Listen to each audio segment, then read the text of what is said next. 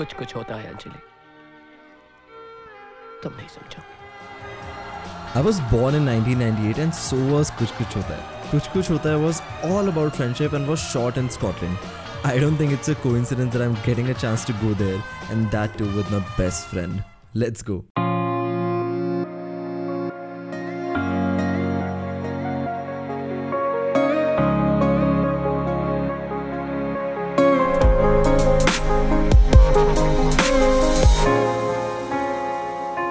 यार तो स्टोरी शुरू होती है 22 दिसंबर 2019 को जब दो लॉन्डे वेकेशन मनाने निकल पड़े यूके के टूर पे।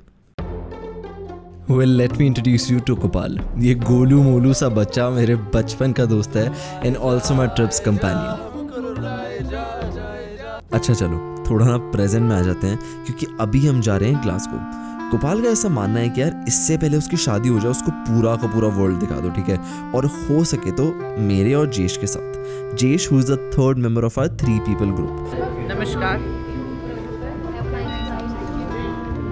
थैंक यू आयुष तो भाई काफ़ी लंबी फ़्लाइट के बाद हम एम्स्टर्डम पहुँच ही गए।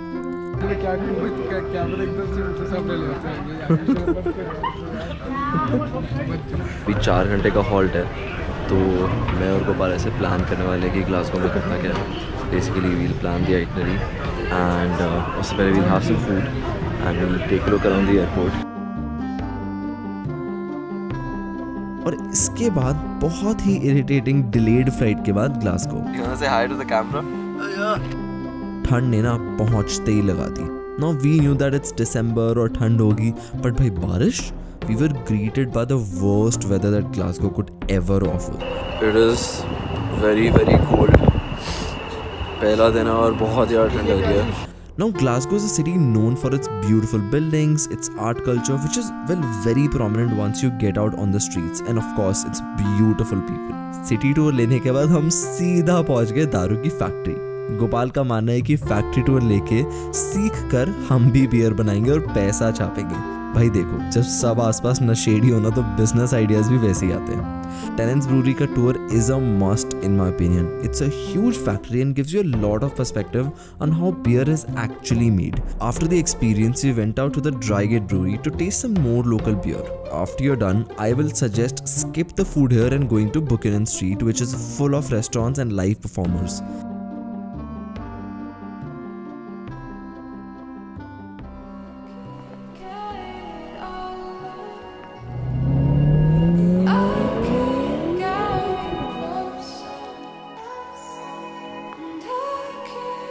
फिर जब दारू से फुर्सत मिलना then we went to the city centre so scene ऐसा है कि हर साल यूके और यूरोप के सिटी सेंटर्स में क्रिसमस मार्केट लगती है and boy it's a delight Glasgow में मार्केट लगी थी जॉर्ज स्क्वायर में where we had shit tons of food and भाई we went to this classic मेला वाला ride we are on a giant wheel भाई साहब क्या व्यू है यार? We spent the later part of the day here and went to sleep soon after because both of us were dead tired from the journey.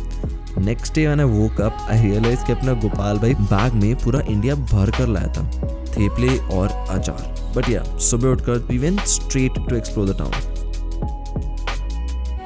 first spot was the Kelvingrove art gallery और उससे भी ज़्यादा सुंदर Kelvingrove के garden और skating park Kelvingrove art gallery is a must if you visiting Glasgow and guess what the admission is free of cost overall Glasgow is a very scenic place with tons of graffiti and art work around it's a pleasure for any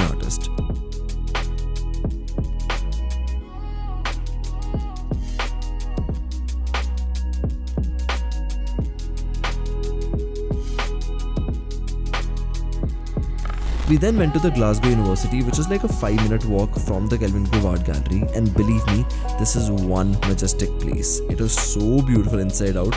भाई अपना college ना पहली बार थोड़ा फीका लगने लग गया यार But yeah, you know, they say that the sets of Harry Potter were inspired by the castles and buildings of Scotland. मतलब एक बार देखो इसको इससे कौन नहीं इंस्पायर हो सकता Acha, fun fact. It has become a tradition in Glasgow to put a cone on top of the Duke of Wellington's statue. It is only a matter of a couple of days that people put a new cone if the authorities remove the old one. Pretty cool, right?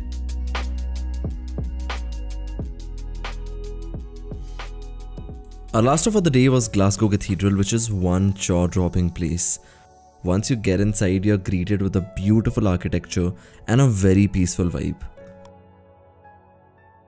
After exploring the cathedral, we went to Necropolis for the sunset view.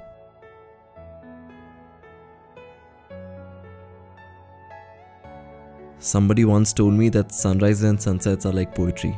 When I was standing on top of that mountain, I deeply understood the meaning of that. It was so beautiful. I had not seen Glasgow like that in the last three days. This was the last sunset in Glasgow and definitely a memorable one. I highly recommend this destination if you're planning to visit Scotland. We soaked every inch of the sun that day to prepare ourselves for the next destination, Edinburgh, जहाँ पर भाई बहुत बड़े वाला कांड हो गया था by the way. Gopal Street Police. More about that in the next episode. Meanwhile, I'm gonna cherish these beautiful memories that Glasgow gave me, and I'll talk to you soon.